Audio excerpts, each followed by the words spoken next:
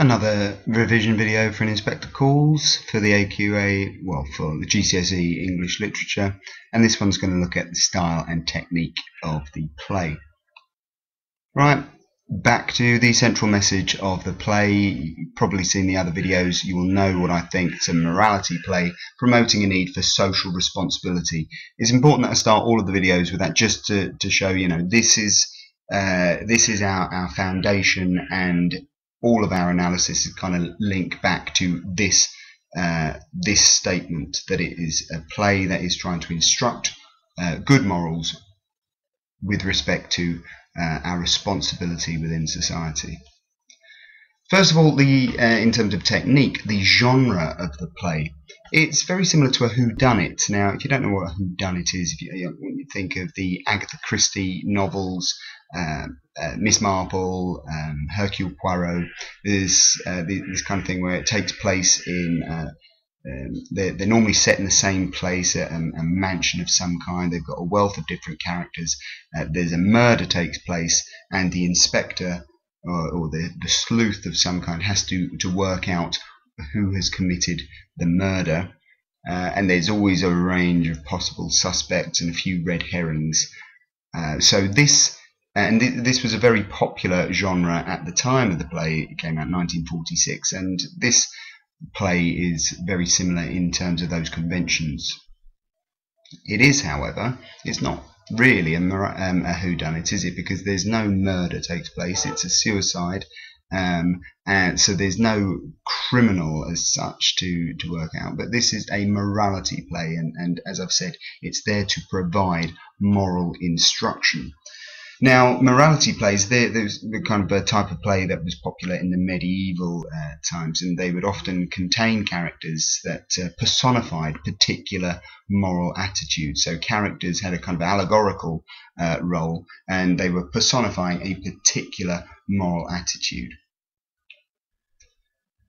And as we see, the inspector, um, arguably, so people might disagree with me here, but um, I'm pretty well I'm pretty confident that uh, in in my argument, obviously, uh, I I believe that the inspector personifies the idea of social conscience, that thinking of thinking for others.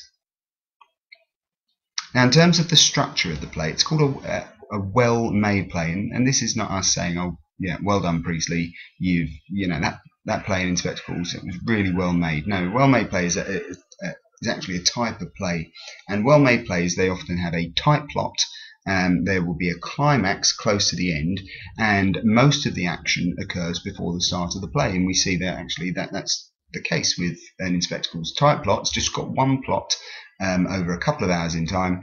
Uh, the climax. Uh, arguably, the climax is, is, at the end with the, the revelation of Eric, um, and the action involving Eva Smith has occurred before the play has, be, uh, has begun. It applies the three dramatic unities. So if we go back to um, classical uh, plays, classical drama, the, the ancient Greeks, they would have their uh, plays that would be united through these three. The unity of place, in other words, the action all takes place in one setting, the living room uh, of the, the, of the Burlings. So there's there's no other settings other than that.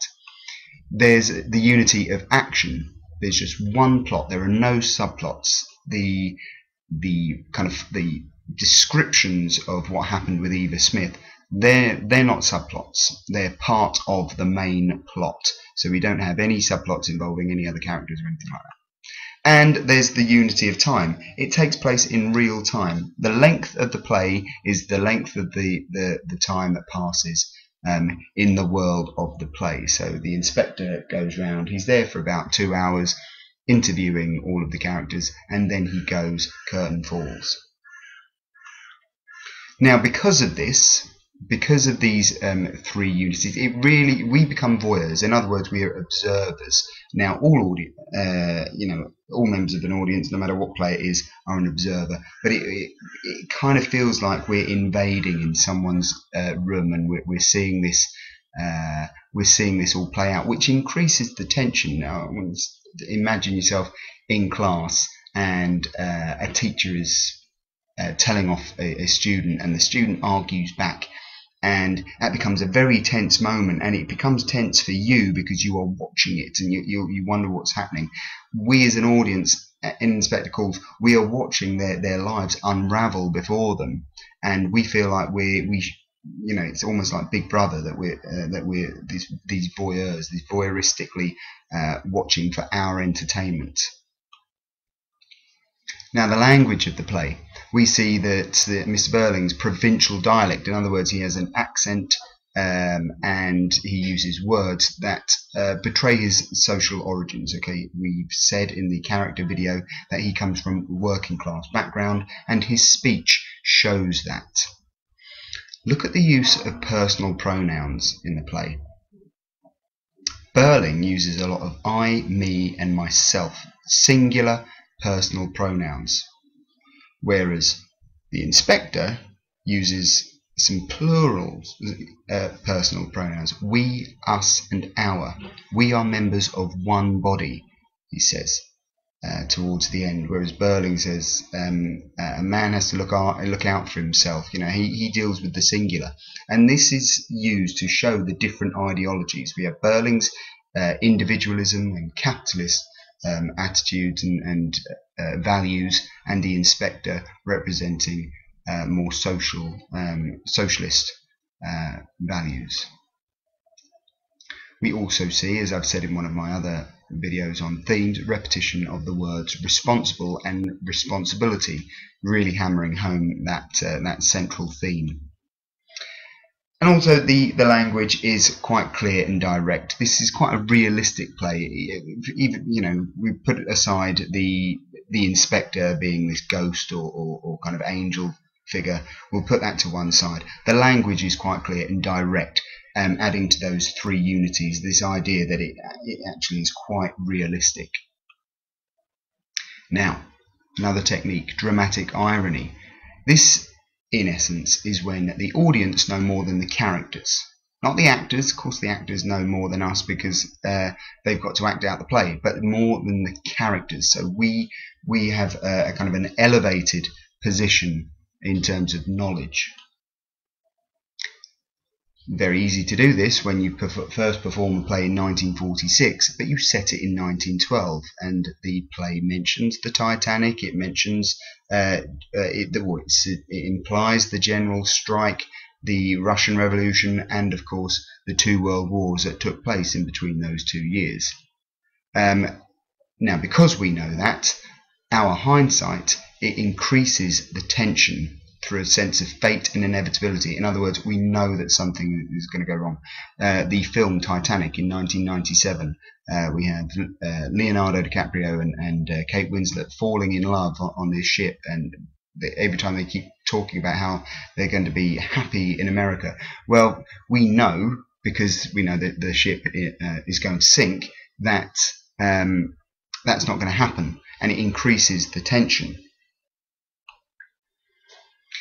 the dramatic irony, it also allows Priestley to foreshadow the fate of the Burling. So when Mr. Burling is saying there's no chance of uh, war, Titanic, unsinkable, there'll be no labour troubles, we get a sense that he's wrong about that, or well, we know that he's wrong about that, and therefore we get a sense that his his knighthood and their celebration, the the, the posterity that he kind of uh, is predicting, is not going to happen which leads us on to tension. Because of that dramatic irony in Mr. Burling's speech, we have that kind of sense of foreboding that something wrong is going to happen, something bad is going to happen. Then we have Mrs. Burling towards the end in Act eh, at the end of Act Two, where she is saying that the father as child is most responsible. We know that she is judging her own son, and we know she's essentially condemning him. The revelations, they're made in a sequential order. In other words, it's a sequence. We don't find out everything all at the same time. That draws it out, that uh, ekes out the information. It withholds the information, and therefore, uh, we as an audience, we uh, it draws out our anticipation because of the three act structure that you might not see um, if you go and see the play these days. It will probably have a, um, one interval right in the middle, but the it's written in three acts, which allows for cliffhangers. The curtain falls at the end of Act One, 2, and 3. And particularly in Act 1 and 2, I want you to think of that curtain fall as the, the kind of drum beats at the end of EastEnders. It will always happen at a high moment, a tense moment. In other words, wanting the audience to want to watch it again.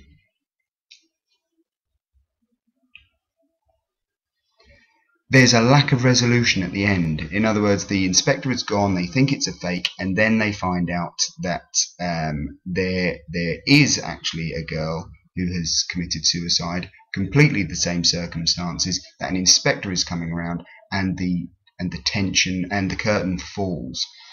This restores that tension. So at first there was this relief, but then we end on another high moment.